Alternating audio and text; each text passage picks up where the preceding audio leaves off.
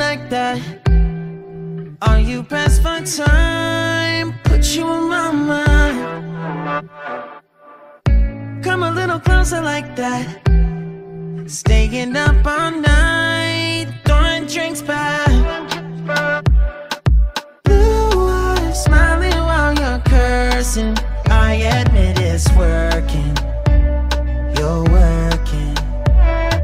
Don't care, you're crazy, it's perfect.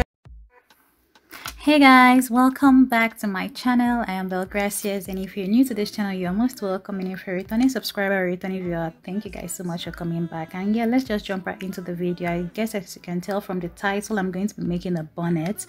So what I'm doing right now is creating the strip that is going to be in front of the bonnet and by doing so, I just folded the fabric like so. Initially, I just started eyeballing it but for the sake of the video, I had to take a measurement to know what the measurement was. So uh, it was three inches wide and 47 inches long. So that's the measurement for the strip i am creating right now. And in order for me to cut it perfectly i had to secure it with pins first. Um, so it doesn't move around while i'm cutting it. So yeah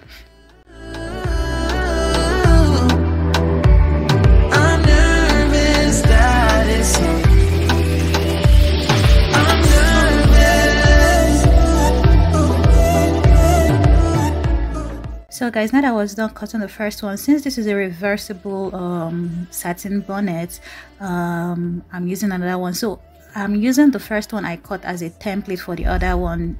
That way um, the measurements are right and there isn't any mistake whatsoever. So in order for me to do that, I'm pinning the yellow or the golden fabric onto the pink fabric. And yeah, before I now cut it out. Yeah, your blue eyes, all my plans reversing.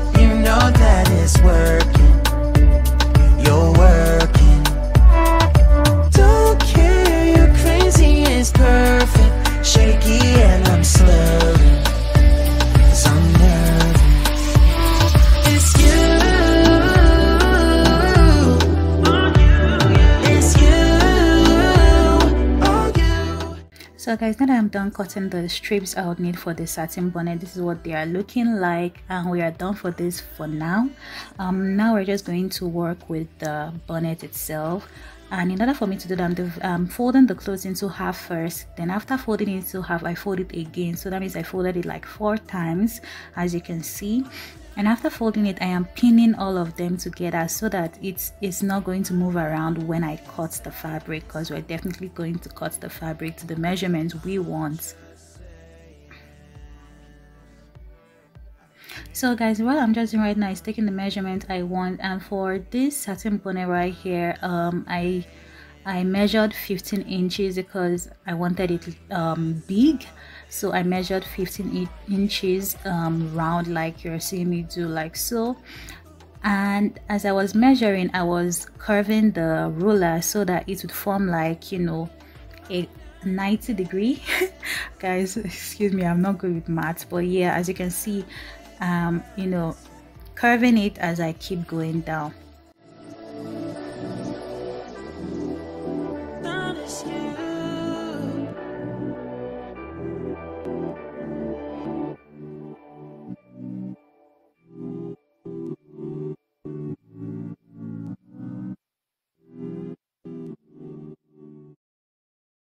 so now that i was done curving it i just had to take in this ruler this curved ruler and i'm using that to connect all the lines together because we'll still need to cut this. It just makes it easier but i mean if you guys are good at you know cutting without all this kudos to you guys i salute but i am not so i need all the help i can get. And yeah that's what i'm doing right now. And after that i'm just going to start cutting like so. It's working.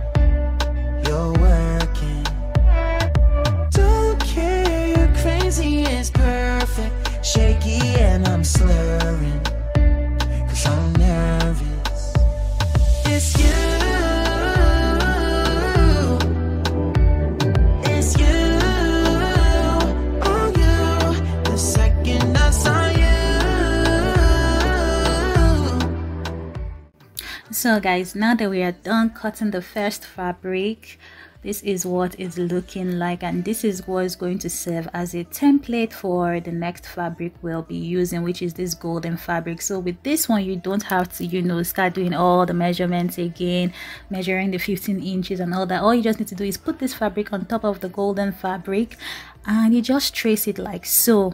And this is what it's looking like after I was done tracing both. What I'm doing right now is putting the two um, right sides facing each other.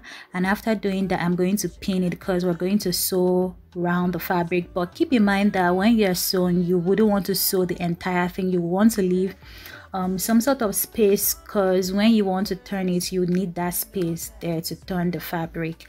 And now that we're done with that one for now this is the strip fabric. After we're done cutting it we still needed to do more work before sewing. And what we're doing right now is facing the right sides together like you can see me doing after facing them together like so i'm just going to pin them down so that we when we're sewing it's it isn't going to move around and it just makes our work 10 times easier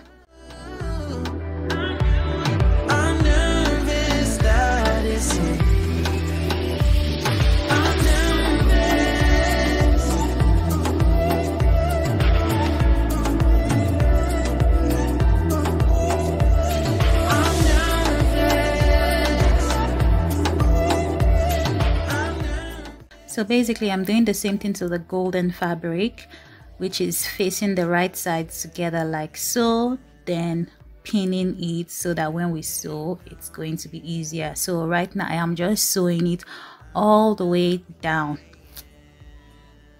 so guys when i started sewing this i didn't know that the um, camera wasn't recording. Um, but yeah when you start you'd want to make sure you backstitch your work first then you continue then when you end you backstitch your work like so.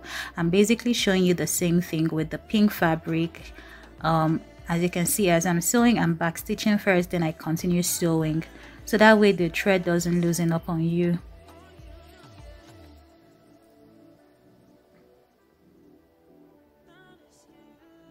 when you get to the end as well don't forget to backstitch your work and yeah. So now i am sewing the satin bonnet itself or the material for the satin bonnet. So the first one i was sewing was the strips. So this is just the material itself. So i'm just sewing around it and also keeping in mind that i would need to leave a space. Don't forget that guys because if you sew the entire thing there is literally no space for you to turn the fabric inside out and yeah so now what i'm doing is that i'm using this loop turner and i'm just using that to um, bring the right side of the fabric outside like you would see in a few seconds. So guys i don't know why this i finally remember the name of this thing. I always forget the name but for some reason i remember the name now which is good. So yeah as you can see it just makes it easier rather than you know having to use your hand to i mean using your hand is not bad but it will take more time as opposed to using the loop turner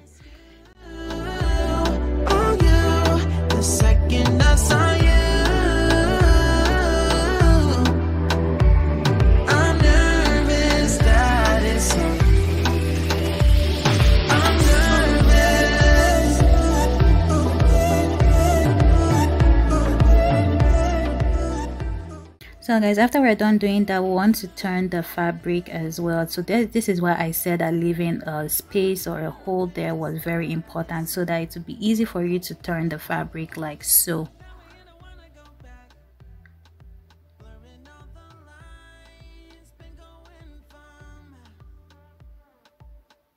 so guys next thing i'm doing right now is to create ruffles on the fabric. So guys let me just say the truth here.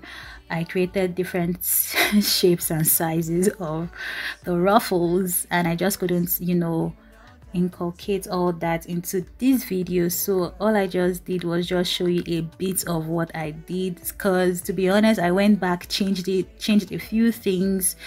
And i mean it was still the same ruffles. All i did was just change maybe the size you know the distance between one ruffle to the other and all that. So there was really no big difference in what I did. So I'm just showing you a close an up close look of the small ruffles I did at the back of the bonnet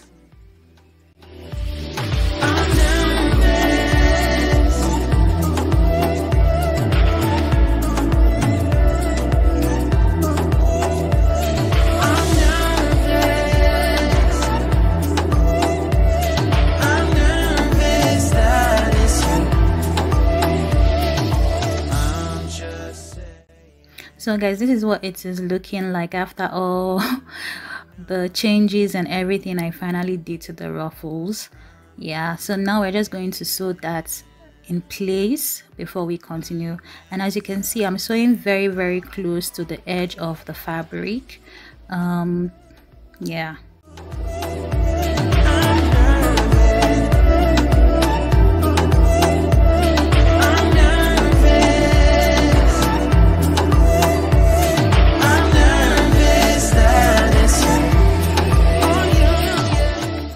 so guys what i'm just showing you right here is showing you that you know remember that space that we left? We're going to now close it up but we're not closing it so close to the edge because we're still going to put an elastic band in there. So we're just closing it up so that we're making space for the elastic band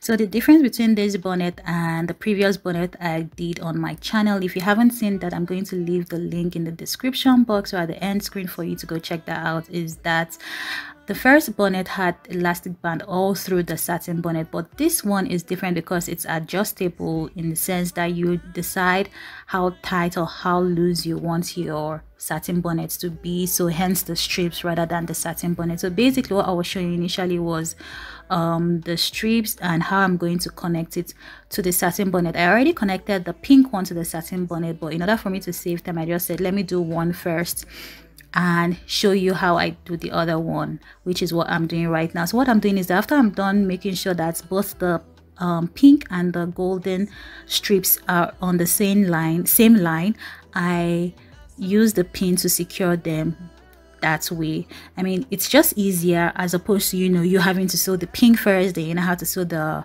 yellow. I feel like that's just a lot of work and it's unnecessary when you can just sew all of them together. I really hope i'm explaining this well and understandable. So yeah. So after i'm done sewing that uh, after i'm done pinning that i mean i'm going to start sewing that together. So for this guys because i am using two different colors um the thread at the top of the um, sewing machine was the same color as the pink satin bonnet and the thread in the bobbin pin section or the bobbin yeah bobbin pin section.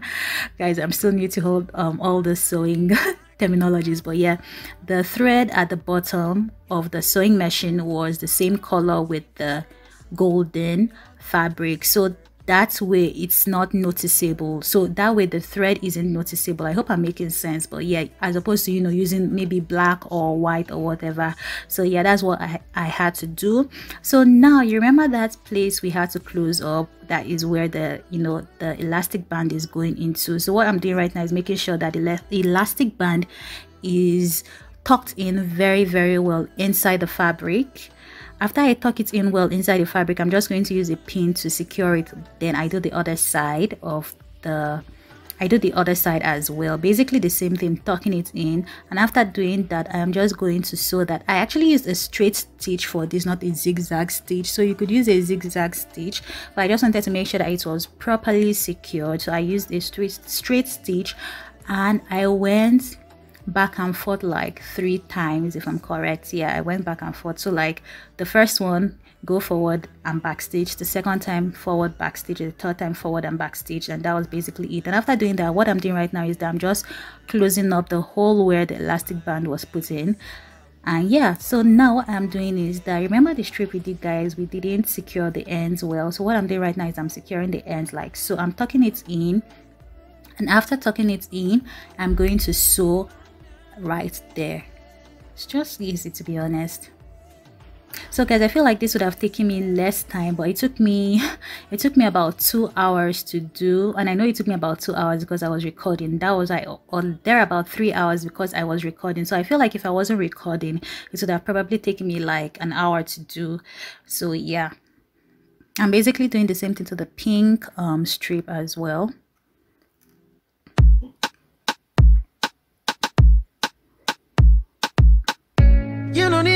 like that? Are you pressed for time? Put you in my mind.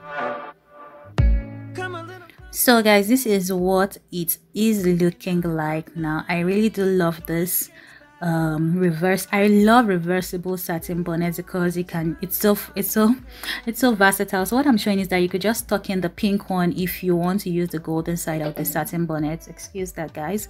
Um you could tuck in the pink one like so. Then you just tie the um golden satin bonnet and you're good to go really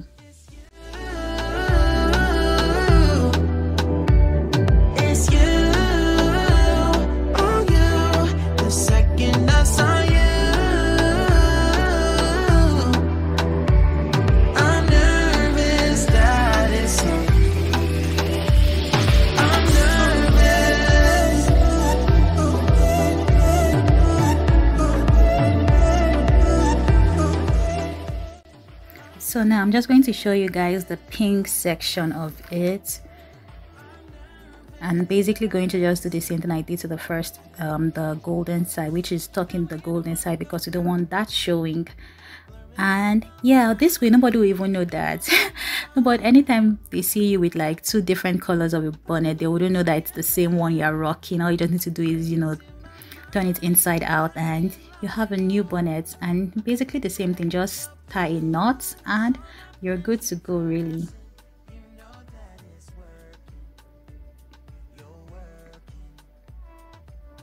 So guys i decided to show you one more time what it is looking like and also show you what it's going to look like on the mannequin. So guys if you want to get this satin bonnet from me please you could go check out my um, business page on Instagram and send me a DM there, then I would definitely make one for you. And it's available in different colors. So whatever color you want, you tell me and I I make it and I ship it to you.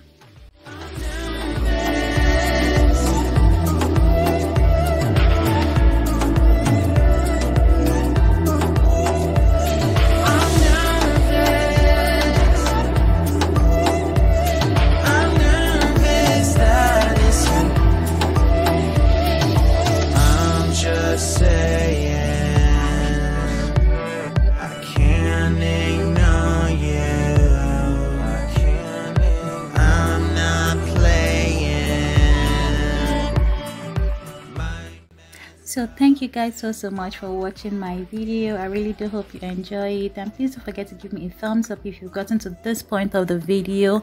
And don't forget to subscribe to the channel already if you haven't. And leave me a comment in the comment section because i really do love reading your comments. And yes guys that's going to be it for this video. And until the next video guys see you and bye bye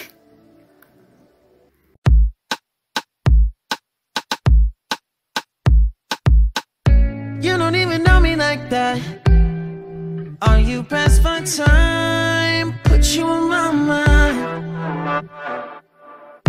Come a little closer like that. Staying up all night Throwing drinks back